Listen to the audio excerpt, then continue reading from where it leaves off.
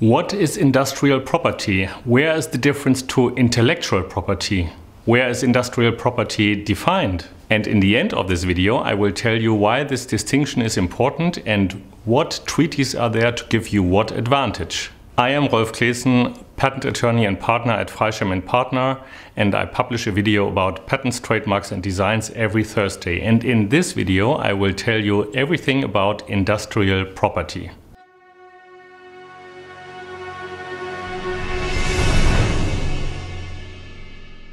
Industrial property basically is just a large subset of intellectual property, where intellectual property encompasses all creations of the human mind.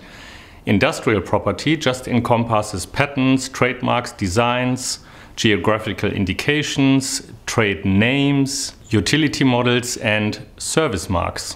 In the Paris Convention for the Protection of Industrial Property, dated 1883, we find the official definition of industrial property in Article 1, paragraph 3. Industrial property shall be understood in the broadest sense and shall apply not only to industry and commerce proper, but likewise to agricultural and extractive industries and to all manufactured and natural products, for example, wines, grain, tobacco leaf, fruit, cattle, minerals, mineral waters, beer, flowers, and flour. This definition is dated 1883, so the wording is a little outdated. The World Intellectual Property Organization, WIPO, has a more timely definition. Industrial property takes a range of forms, the main types which are outlined here. These include patents for inventions, industrial designs, trademarks, service marks, layout designs of integrated circuits, commercial names and designations, geographical indications, and protection against unfair competition. In some cases, aspects of an intellectual creation, although present, are less clearly defined.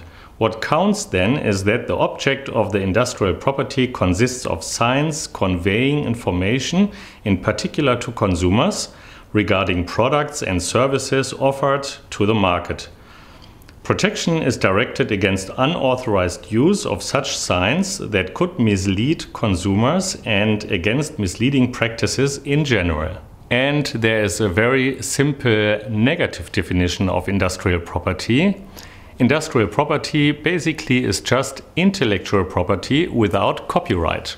So why is all this important to know?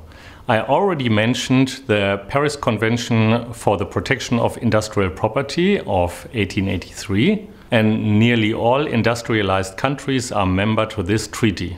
This treaty guarantees certain rights to the holders of industrial property rights, such as patents, trademarks, and designs.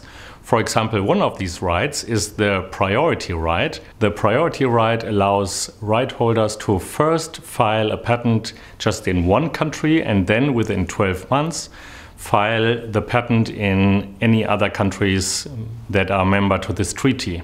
And you do not have this right for copyrights, for example because copyright is not part of the industrial property rights and the Paris Convention for the Protection of Industrial Property Rights is only valid for the industrial property rights and not for copyright. So I hope I was able to explain what industrial property is. If you want to watch more videos about patents, trademarks and design, subscribe to my channel and most importantly, protect your intellectual property and go make it count.